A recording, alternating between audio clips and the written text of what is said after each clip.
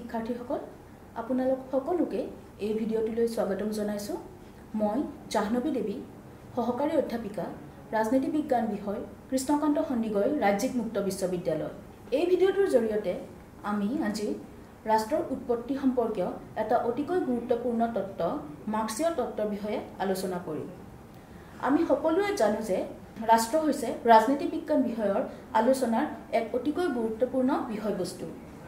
ৰাষ্ট্ৰৰ উৎপত্তি সম্পৰ্কে বিভিন্ন দৃষ্টিভংগী আছে বা বিভিন্ন তত্ত্ব আছে আৰু এই তত্ত্বসমূহে ৰাষ্ট্ৰৰ উৎপত্তি সম্পৰ্কে বিভিন্ন মতবাদ আগবঢ়ায়।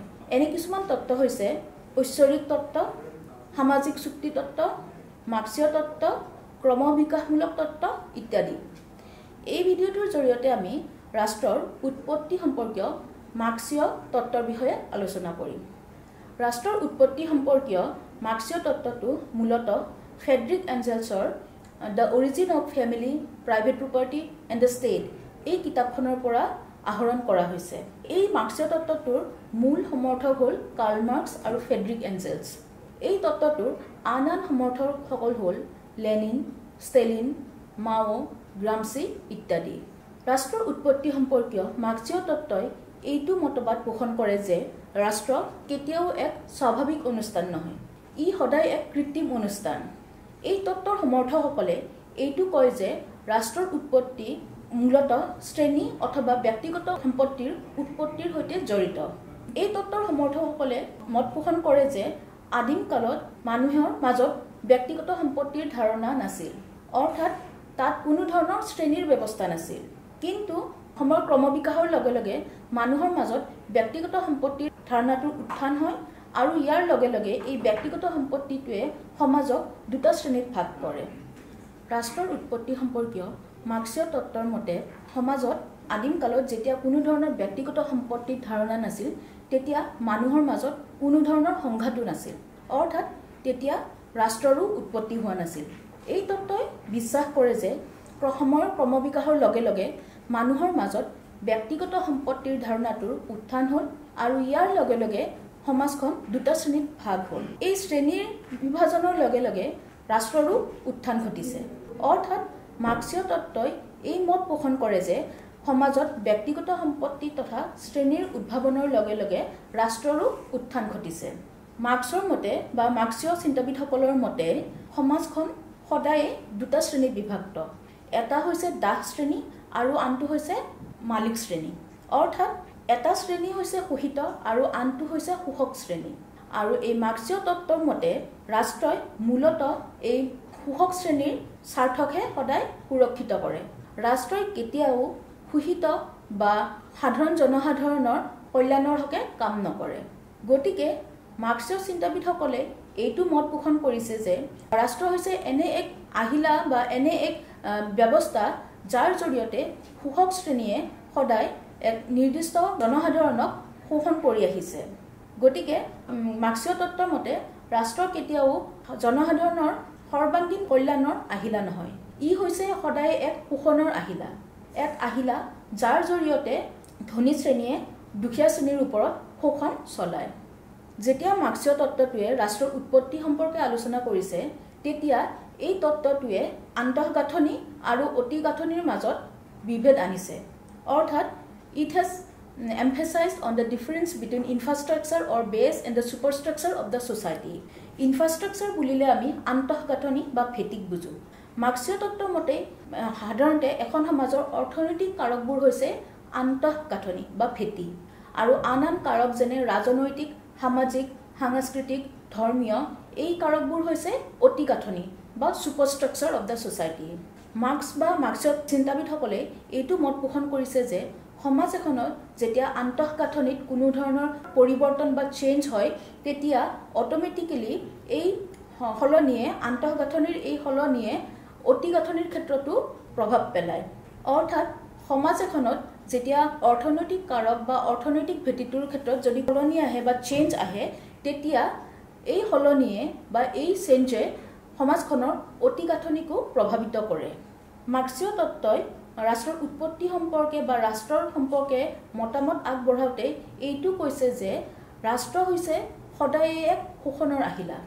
বৰ্তমান সময়ত তেওঁলোকৰ মতে ৰাষ্ট্ৰ হৈছে কেপিটেলিষ্ট বা মালিকীস্বত্ব থকা ব্যক্তি শ্ৰেণীৰ হাতত এনে এক আহিলা যাৰ জৰিয়তে তেওঁলোকে শ্ৰমিক শ্ৰেণীৰ ওপৰত শোষণ চলায়। মাৰ্ক্সীয় তত্বৰ মতে শ্ৰমিক শ্ৰেণীয়ে সদায় শোষিত নিষ্পৃহিত হৈ আহিছে।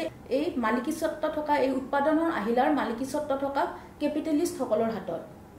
অৰ্থাৎ মাৰ্ক্সে বা মাৰ্ক্সীয় চিন্তাবিদসকলে সদায় এইটো মত পোষণ কৰি আহিছে যে ৰাষ্ট্ৰ এখন সেয়া আগৰ কালতেই হওক বা এতিয়াই হওক সদায় এক আহিলা হিচাপে ব্যৱহৃত হৈ আহিছে।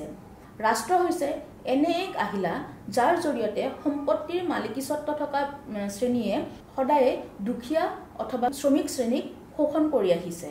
গতিকে মাৰ্ক্সীয় তত্ত্বই এই মত পোষণ কৰে যে সমাজ এখনত সমতা বা সমাজ এখনত ন্যায় প্ৰতিষ্ঠা কৰাৰ বাবে ৰাষ্ট্ৰৰ বিলুপ্তি ঘটাব লাগিব।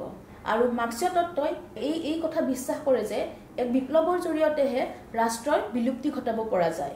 আৰু এই বিপ্লৱ আনিব লাগিব শ্ৰমিক শ্ৰেণীয়ে।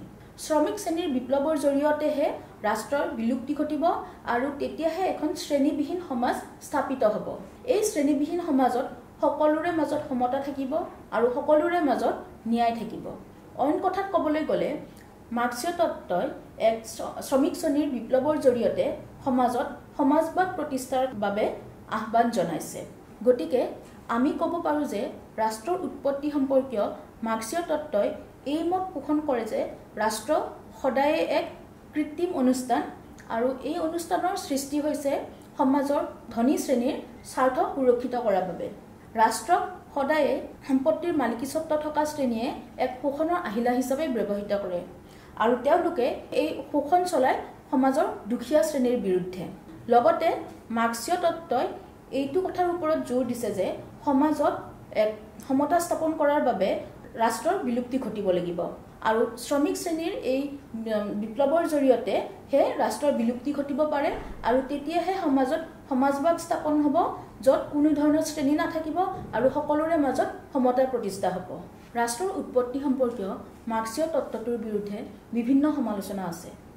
সমালোচকসকলে বিভিন্ন দৃষ্টিকোণৰ পৰা এই তত্ত্বটো সমালোচনা কৰিছে। তাৰে কিছুমান সমালোচনা এতিয়া আলোচনা কৰিম সমালোচকসকলে ৰাষ্ট্ৰৰ উৎপত্তি সম্পৰ্কীয় মাৰ্ক্সীয় তত্ত্বটো এইকাৰণে সমালোচনা কৰিছে যে তেওঁলোকে ভাবে যে মাৰ্ক্সীয় তত্ত্বই শ্ৰেণী স্বাৰ্থৰ ওপৰত আৰু শ্ৰেণী বিভাজনৰ ওপৰত অতিকৈ গুৰুত্ব আৰোপ কৰিছে। আমি আগতেই আলোচনা কৰিছোঁ যে মাৰ্ক্সীয় তত্ত্বই এই মত পোষণ কৰে যে সমাজত শ্ৰেণীৰ উৎপত্তিৰ লগে লগে ৰাষ্ট্ৰৰো উৎপত্তি ঘটিছে। গতিকে শ্ৰেণী স্বাৰ্থ আৰু শ্ৰেণী বিভাজনেই হৈছে মাৰ্ক্সীয় তত্ত্বৰ মতে ৰাষ্ট্ৰৰ উৎপত্তিৰ প্ৰধান কাৰণ। কিন্তু সমালোচকসকলে কৈছে যে শ্ৰেণীৰ বা শ্ৰেণী স্বাৰ্থ বা শ্ৰেণী বিভাজনৰ উপৰিও অন কিছুমান কাৰক আছে যিবোৰে ৰাষ্ট্ৰৰ উৎপত্তিত অৰিহণা যোগাইছে। আকৌ সমালোচকসকলে এইটো মত পোষণ কৰিছে যে মাৰ্ক্সীয় তত্ত্বই ৰাষ্ট্ৰৰ উৎপত্তিৰ ক্ষেত্ৰত অৰ্থনৈতিক কাৰককে সৰ্বোচ্চ বুলি জ্ঞান কৰিছে। কিন্তু সমালোচকসকলে এইটো মত পোষণ কৰিছে যে ৰাষ্ট্ৰৰ উৎপত্তিৰ ক্ষেত্ৰত অৰ্থনৈতিক কাৰকৰ লগতে অইন এনে কিছুমান কাৰক আছে যিবোৰৰ অৰিহণা ৰাষ্ট্ৰৰ উৎপত্তিৰ ক্ষেত্ৰত মুঠেও আমি অৱজ্ঞা কৰিব নোৱাৰোঁ।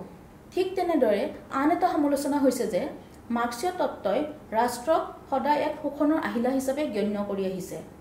কিন্তু সমালোচকসকলৰ মতে এই ধাৰণাটো শুদ্ধ নহয়। ৰাষ্ট্ৰই বহু ক্ষেত্ৰত জনসাধাৰণৰ সৰ্বাংগীন কল্যাণৰ হকেও কাম কৰে। আকৌ মাৰ্ক্সীয় তত্ত্বই শ্ৰেণী বিভাজন বা শ্ৰেণীদণ্ডৰ ওপৰতো অধিক গুৰুত্ব আৰোপ কৰিছে। সমালোচকসকলে এই মত পোষণ কৰে যে ৰাষ্ট্ৰ সদায়ে শ্ৰেণীদণ্ড নাথাকে। দণ্ডৰ উপৰিও মানুহৰ মাজত জনসাধাৰণৰ মাজত বহু ক্ষেত্ৰত মিলা প্ৰীতিও দেখিবলৈ পোৱা যায়। গতিকে আমি ক'ব পাৰোঁ যে যদিও মাৰ্ক্সীয় তত্ত্বৰ বিপক্ষে বিভিন্ন ধৰণৰ সমালোচনা আছে কিন্তু ৰাষ্ট্ৰৰ উৎপত্তি বিশ্লেষণ কৰাত এই তত্ত্বটোৰ অৰিহণা আমি মুঠেও আওকাণ কৰিব নোৱাৰোঁ।